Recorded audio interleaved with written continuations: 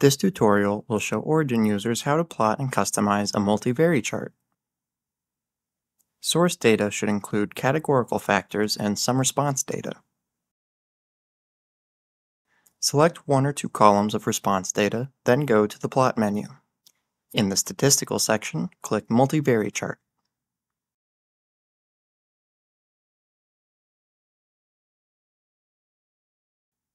Turn on Auto Preview then select the first factor. The mean values for each factor level are presented as a black line and scatter plot. You can decide whether to show the connect lines between points. Now, let's select the second factor. A red line and scatter plot is added to present the mean values at each factor level of factor 2. And each factor level has its first factor chart.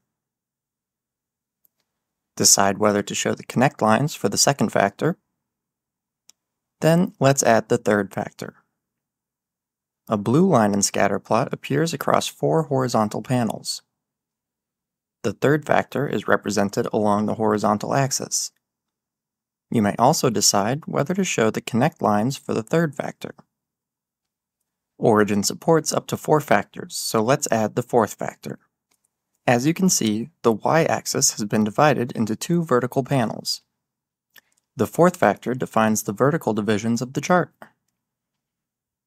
Select this box to show the individual data points. Check this box to show the grand mean for each vertical panel. Click OK to create the graph. The result is a multi-vari chart with four factors. Let's change the order of factor levels for the second factor.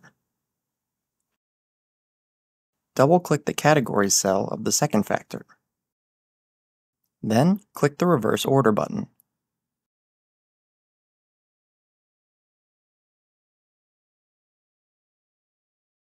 The worksheet displays the changed order, and the graph is ready for recalculation.